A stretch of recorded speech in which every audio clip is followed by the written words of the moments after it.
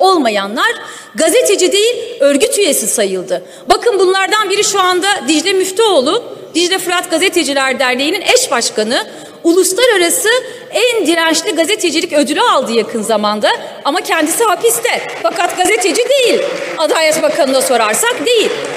Adalet Bakanı'na göre 81 yaşında kaybettiğimiz, kaybettikten sonra basın kartıyla ilgili açtığı davayı kazanan sevgili Aydın Engin de gazeteci değildi o zaman. Adalet Bakanı'na göre Nadine Mater de gazeteci değil. Adalet Bakanı'na göre Tuğrul Er Yılmaz da gazeteci değil. Çünkü İletişim Başkanlığı diyor ki milli güvenlik gerekçesiyle Tuğrul Er Yılmaz'ın kendi deyimiyle 70 plus nasıl bir milli güvenlik gerekçesi olabilir?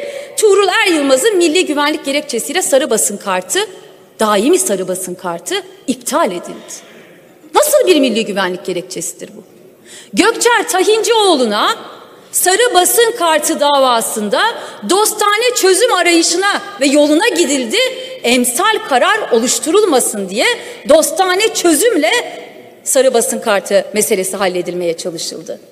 Kim gazeteci? Kim değil?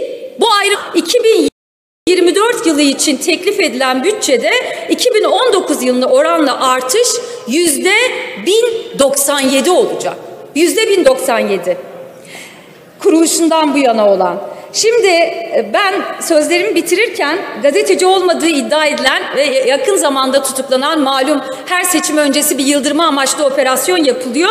7 aylık mahpusluğunun ardından da 8 Aralık'ta tahliye edilen Kürt gazeteci Abdurrahman Gök'ün sözleriyle bitirmek istiyorum. Kürt gazetecinin altını özellikle çiziyorum. Çünkü en önde her zaman ilk defa hedef alınanlar diyor ki en fazla korktukları şey hakikat. Bu hakikat sonlarını getirecek. Susmayacağız.